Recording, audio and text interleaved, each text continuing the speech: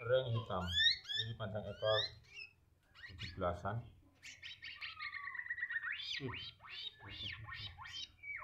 memang dia suka rajin gacor ya makanya dipegang saja dia bunyi.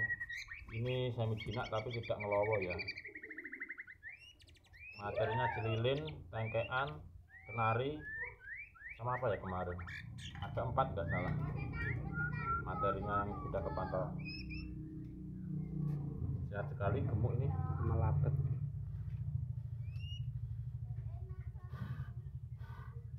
Gemuk sekali mata normal ya.